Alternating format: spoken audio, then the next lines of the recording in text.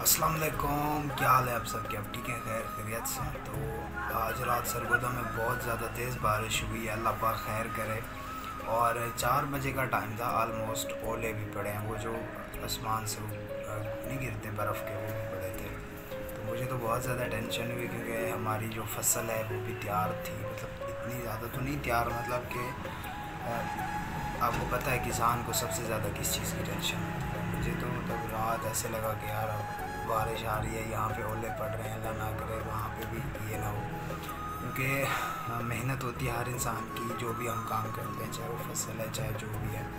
तो आपने क्लिप भी देखा होगा, वैसे चार बजे जब मेरी आँख खुली तो ऑलमोस्ट बहुत ज़्यादा तेज़ बारिश के साथ साथ ओले भी बहुत ज़्यादा पड़ रहे थे। मुझे तो डर लगा कि यार, अल्लाह खैर करे, हमारे इलाके में की ना हो तो आप लोगों का जो इलाका है आप लोग कमेंट करके भी बता दो यार, आपके इलाके में क्या ओले पड़े हैं, नहीं पड़े, बारिश हुई है कि नहीं हुई, या जस्ट सरगुड्डा में ही ओले पड़े हैं? तो अल्लाह पाक खैर करे, बाकी अल्लाह ताला जो है सबकी हिफाजत फरमाए, फुसलमान में रखे आप सबको। तो ये छोटी सी वीडियो थी जस्ट और जस्ट क्योंकि आज रास्ता भी नहीं है, बहुत ज़्यादा बारिश आई थी। मैं शाम को जाऊँगा इन कोई ब्लाग शूट करने, जहाँ पर मुझे अच्छा सा कोई मौका मिला, और आज कपड़े शपड़े भी धो लेने। मतलब आज लास्ट डे छुट्टी का मंडे है तो आज हमारी यूनिवर्सिटी ऑफ़ थी।